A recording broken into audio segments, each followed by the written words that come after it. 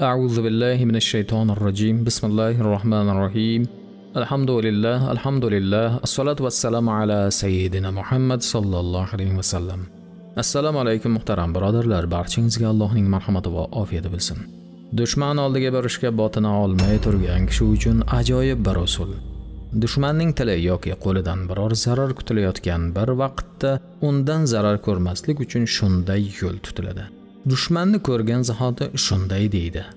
Ya maliki yawmiddin iyyaka na'budu va iyyaka nasta'in. Yana dushman huzuriga ketishdan oldin naziat surasini bir marotaba shu niyat ila o'qiydi. Shunda dushman unga zarar bera olmaydi. Marhamat noziat surasi pastdagi birinchi silkaga qo'yilgan.